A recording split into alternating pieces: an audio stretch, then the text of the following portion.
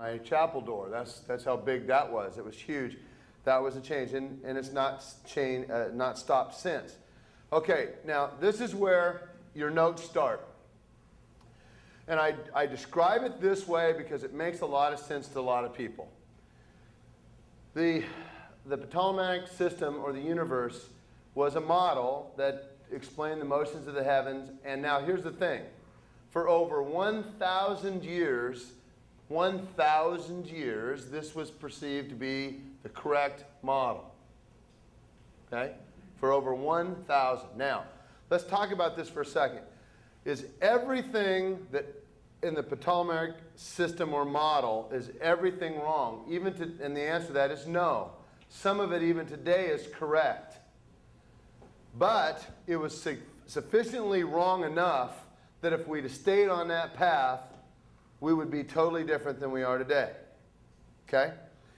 So now we go to the Copernican model, and he changed everything from the, the earth being the center to the sun being the center. Now, is, was that closer to the truth? It absolutely is. It was a big improvement.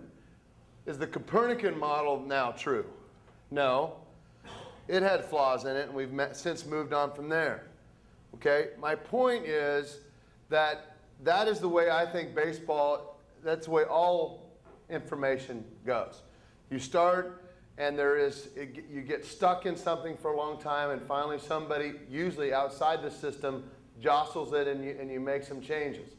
Some things still in the Copernican system, even today, are correct. Now, here's what happens. Even when you get it right, some swear you're wrong. Okay? Some will swear that you're wrong. So, Jim, when you started using some of this, did you get some of the weirdest looks you've ever got in your life?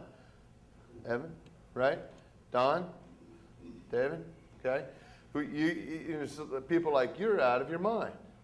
Jerry, they thought that about you for years. So, I, so but that's just the way that works. Okay?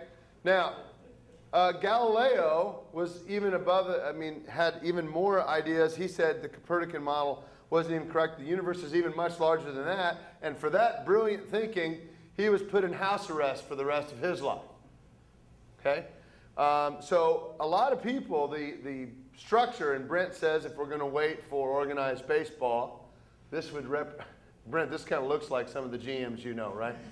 Uh, organized baseball have a vested interest, or some people have a vested interest in the, in the information staying the same. They don't want it to change because they don't want to look bad or they, whatever, whatever case may be. So we have to fight that. So just understand that's part of the process. The reason I bring that up is a lot of people, they, they think, I, I don't want them to get the information and go, you know, geez, people, I'm just not getting Valentine Day cards because I've changed. You're not. You're going to get, immediately, you're going to get more resistance, not more support, uh, whenever you're doing something different.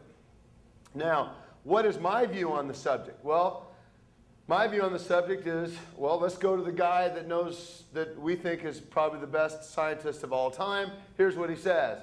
One thing I have learned in a long life that all our science, measured against reality, is primitive and childlike. Yes, the most precious thing we have. So, what do you think? What is your estimate of what Einstein would say about the need to, uh, to keep evolving in thought? He would say that would be a 100% chance of that. Remember what he says all of our science measured against reality is primitive. Okay, he didn't say it's almost, we almost got it. He said it's primitive.